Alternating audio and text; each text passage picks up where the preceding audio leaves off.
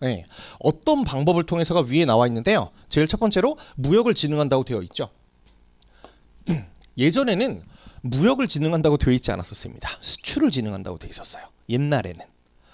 어, 여러분들은 지금 이제 세대들이 주로 이제 좀 어려지셔가지고 그런 플랜카드나 이런 걸 보시지 못했을 텐데요. 옛날에는 이런 플랜카드가 있었습니다. 수출을 진흥하고 국산품 사용을 애용, 아, 국산품을 애용하고 수입산 물품들을 애용하지 말자. 수입산 물건들은 가급적 쓰지 말자. 미제 물건, 일제 물건 쓰지 말자.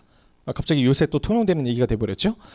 어, 그래서 예전에는 무역을 진흥하는 게 아니라 수출을 진흥하고 수입을 억제하는 것들이 기본적인 방향이었을 거예요. 그러면 어떻게 하면 돼요? 수출을 진흥하려고 하게 되면 수출과 관련해서 많은 지원을 해주면 됩니다.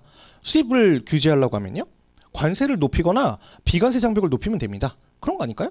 두 가지 방법의 툴이 있잖아요. 관세 장벽과 비관세 장벽.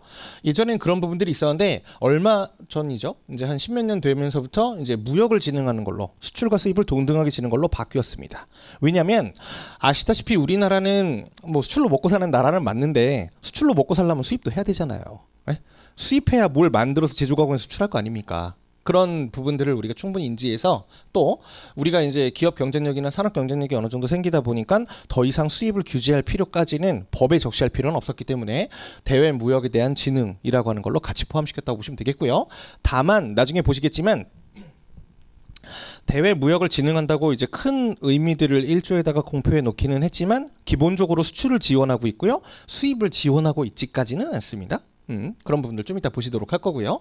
두 번째로는 공정한 거래 질서를 확립한다고 되어 있습니다. 즉 무역 거래자가 외국이랑 거래를 하면서 우리가 불필요한 제한이나 압박을 받거나 또는 차별을 받거나 이런 부분들을 기본적으로 어, 못하도록 반대로 우리가 외국 사람들한테도 그런 불필요한 차별이나 이런 부분들을 못하도록 하는 것들을 목표로 잡고 있습니다.